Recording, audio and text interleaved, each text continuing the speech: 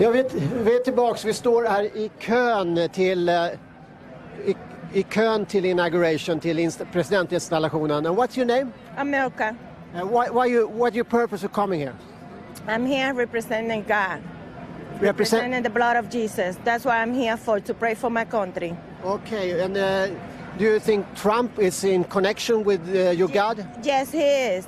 He, he knows he need God, and that's why I'm here today. Because we need somebody that understand and know that he need God Okay, in order to be um, become a successful president. thank you. Hello. Hello. Hello there. You're a Trump supporter? Yes, I don't want to be interviewed though. Thank you. okay. Hello there. You're a Trump supporter? Yes, Tell me, why, why do you choose Trump? I'd rather not. Could you do it? Euro version. No, You, why, why do you choose Trump? I don't really want to talk about it on the air. Thank you. Why then? Why? Yeah. Because he's the best candidate. Why is his best? Why is he the best candidate? Because he's going to make America great again. What's great then? What's great? Stronger military, lower taxes, better economy, more jobs. How? Uh, uh, what kind of health insurance do you have? Uh, I work for a company that provides an insurance.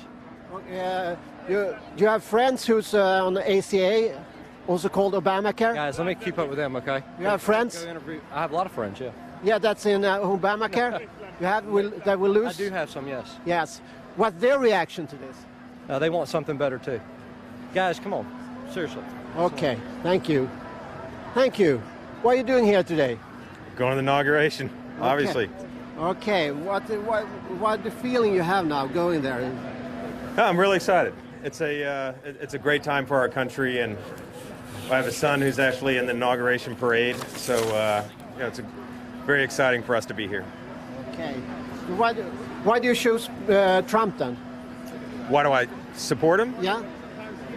You know, he's a businessman. He knows how to bring jobs. I think that's what everyone wants. You know, everyone just wants to have a job and to be able to have income, support themselves, have a little bit of prosperity.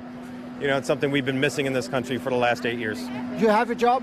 Absolutely. You have a social insurance comes with a job then? Uh, yes. So you so if you you won't lose if uh, anything if Obamacare is gone. No. You have. Oj, där tappade